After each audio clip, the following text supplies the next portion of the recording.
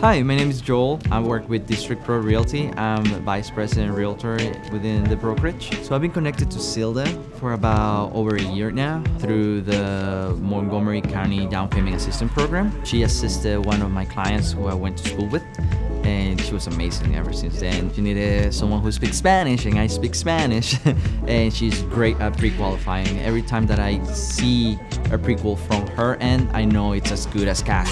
This event benefited me uh, tremendously in terms of what the market is doing, what the lenders are doing, and how they are incentivizing the market for first-time homebuyers, what new programs are coming up, and of course, seeing a different perspective from the scope that I do usually work with.